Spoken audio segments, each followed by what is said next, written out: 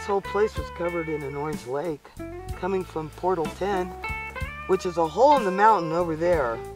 It would come running out. Man.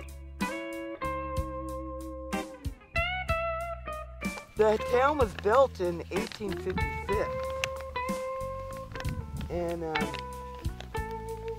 you know, by the 1900s, it was booming.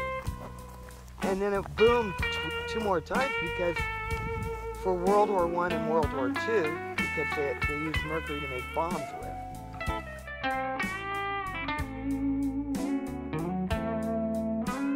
They originally mined mercury, you know, to separate separate gold from its ore matrix.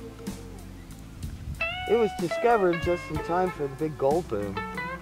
And they used it for tintypes and all, a lot of different things, but, but that was way before they figured out that mercury was really, really, really poisonous.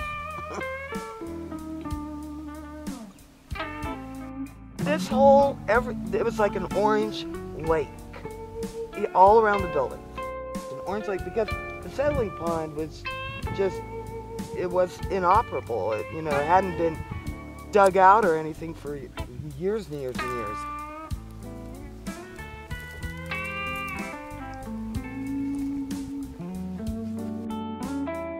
Now, you know, I guess they put a culvert in someplace.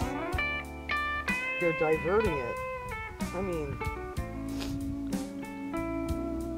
but I used to show, I used to take people up here and show them the orange river coming out of the, the mountain, and they couldn't believe it, you know? It was like, it was something out of the Twilight Zone.